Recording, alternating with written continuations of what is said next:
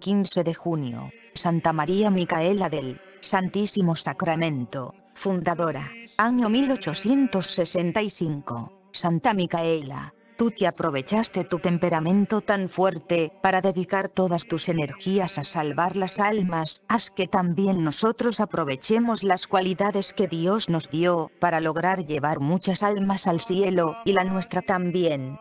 Amén. Micaela significa, Dios es mi fuerza silla de ruedas. Esta mujer heroica que nació en Madrid, España en 1809, tuvo que pasar por situaciones verdaderamente amargas antes de llegar a la santidad.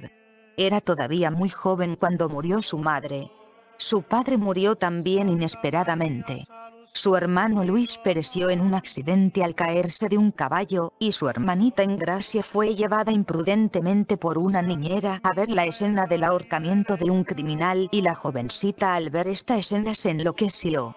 Le quedaba una hermana, Manuela, pero esta tuvo que salir al destierro porque los enemigos políticos de su esposo se apoderaron del gobierno. Recibió una educación muy seria empieza un noviazgo, y después de tres años de amistad muy armoniosa, y muy santa con su novio, este de un momento a otro se aleja, porque sus familiares se lo han ordenado así.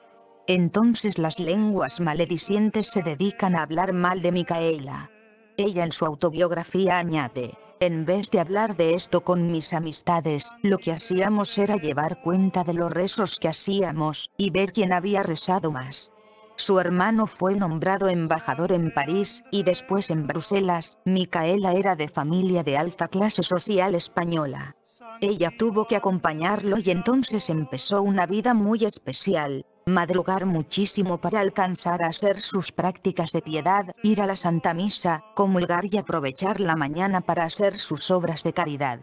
De mediodía en adelante asistir a banquetes diplomáticos, bailes, funciones de teatro, salir de paseo a caballo, rodeada de gente de la aristocracia y mostrarse siempre alegre y sonriente, a pesar de los dolores continuos de estómago a causa de una especie de cáncer que parecía devorarle el vientre ante tantísimos peligros para su virtud, lo que conservaba en gracia de Dios a la joven y elegante Micaela era su comunión diaria, las mortificaciones que hacía y el haber encontrado un santo director espiritual, el padre Carasa. Una de sus mortificaciones consistía en que cuando iba a funciones de teatro, donde la gente se presenta muy deshonestamente vestida, ella se colocaba unos anteojos que por más que esforzara la vista no le dejaban ver lo que pasaba en el escenario mientras por las tardes y noches tenía que estar en las labores mundanas de la diplomacia, por las mañanas estaba visitando pobres, enfermos e iglesias muy necesitadas y dejando en todas partes copiosas limosnas, su familia era muy adinerada. Nadie podía imaginar al verla tan elegante en las fiestas sociales, que esa mañana la había pasado visitando casuchas y ayudando a gentes abandonadas. Al volver a España la invitaron en Bordeos a una reunión en la casa del cónsul. Allí la esperaba el señor arzobispo para pedirle que hiciera de mediadora frente a unas monjitas que engañadas por un jansenista, los jansenistas son herejes que dicen que quien no es santo no puede recibir ningún sacramento, se habían rebelado contra el arzobispo. Micaela, aprovechando su admirable simpatía que le hacía ganarse a las gentes, se fue al convento y obtuvo que las religiosas hicieran unos días de ejercicios espirituales, y al final de esos retiros, las monjitas, presididas por nuestra santa, hicieron la paz con el señor arzobispo. El padre Carasa le recomendó que al volver a Madrid se entrevistara con una dama muy santa llamada María Ignacia Rico. Así lo hizo y entonces aquella caritativa mujer la llevó al Hospital San Juan de Dios, donde estaban las mujeres de mala vida que caían enfermas. La santa afirma que allí sufren el olfato, la vista, el tacto, los oídos y que todos los sentimientos tienen allí ocasión para padecer. Micaela ni siquiera sabía que existía esa clase de mujeres y nunca se había imaginado que los hombres dieran un trato tan injusto y cruel a esas pobres criaturas, después de haberlas corrompido. Aquel espectáculo del hospital fue para Micaela como una revelación del cielo. Y cuando supo no solo la situación horrorosa de esas pobres muchachas enfermas en el hospital, sino la espantosa vida que les esperaba cuando salieran de allí, pensó que era absolutamente necesario hacer algo concreto para ayudarlas y con su amiga María Ignacia consiguieron una casita para llevar allí las muchachas en peligro para preservarlas, y a las que ya habían sido víctimas, para redimirlas y salvarlas. Y sucedió entonces que alrededor de Micaela hubo una verdadera tormenta de incomprensiones y abandonos aún de sus mejores amistades. Ahora se cumplía la antigua frase de San Ignacio, el mundo no tiene oídos para poder escuchar tan grande estruendo. ¿A quién se le iba a ocurrir que una mujer de la más alta clase social, emparentada con las familias más ricas y famosas de la capital, se fuera a dedicar a cuidar prostitutas o mujeres de mala vida? Todas sus antiguas amistades se negaron a ayudarle, y ya ni la reconocían como amiga. Y luego sucedió lo que ninguno había esperado. Micaela dejó su casa elegante en un barrio rico y se fue a vivir con unas pobres mujeres de mala vida en una casucha miserable, para poder transformarlas en personas honradas y santas. Al señor arzobispo le llevan cuentos y calumnias y entonces él envía un sacerdote para que saque de la casa de Micaela el Santísimo Sacramento. Cuando el sacerdote llega, la santa se dedica a orar por él, y este, después de rezar unos minutos de rodillas, cambia de parecer y se va sin llevarse el Santísimo Sacramento. Le llega un director espiritual demasiado rígido que él prohíbe hacer caso a los mensajes interiores que Dios le da. Una voz le dice, Micaela, se va a incendiar la sacristía, pero ella no puede hacer caso a esto, y tiene que dejar que suceda. Otra voz le dice, le echaron veneno a la comida, pero como el director le prohibió hacer caso a esas voces empieza a comer. Solo que al sentir el sabor tan desagradable de aquel alimento, se dice, aunque fuera sin voces, yo no me comería esto por lo asqueroso, y se detiene. Pero alcanza a enfermarse bastante.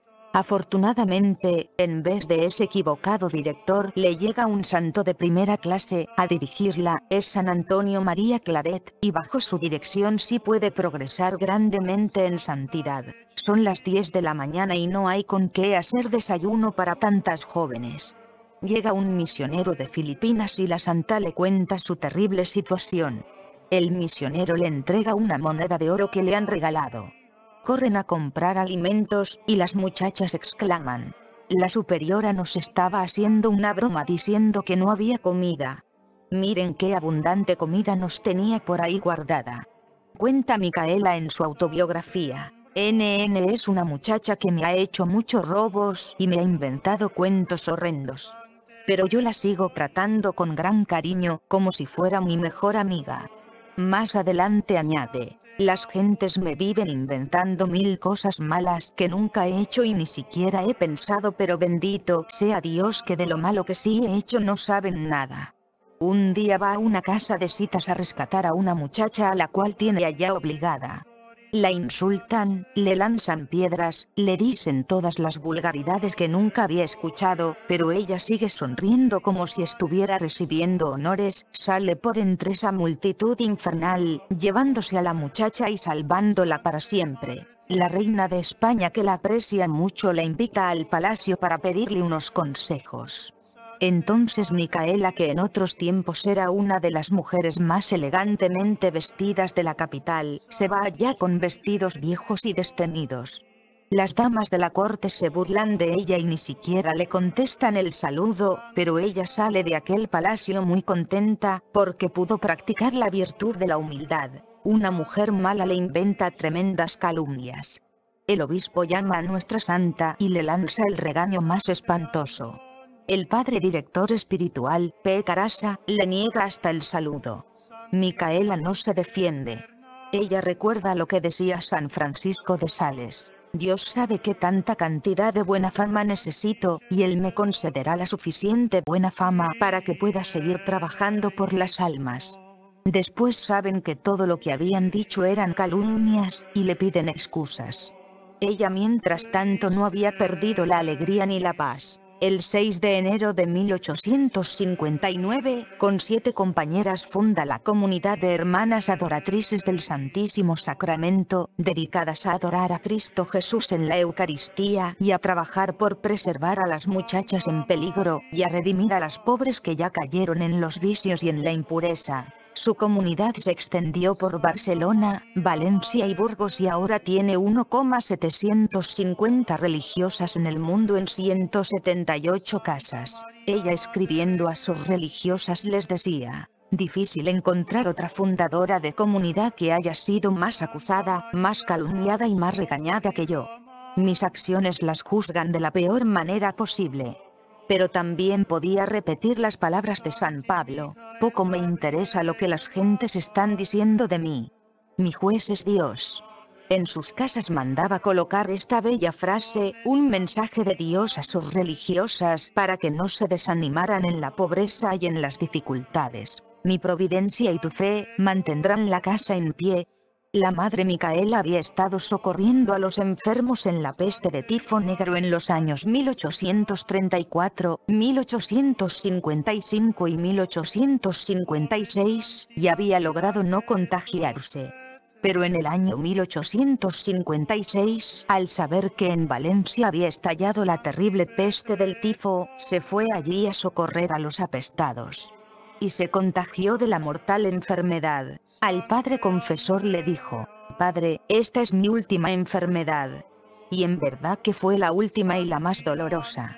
Calambres casi continuos. Dolores agudísimos.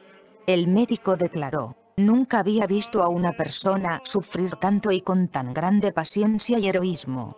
El 24 de agosto de 1856, a las 12, abrió los ojos, los elevó hacia el cielo y murió. La enterraron sin ninguna solemnidad en una fosa ordinaria en el cementerio. Pero Dios la glorificó haciendo milagros por su intercesión y hoy sus religiosas siguen salvando del pecado y de la perdición a miles de jóvenes en todo el mundo.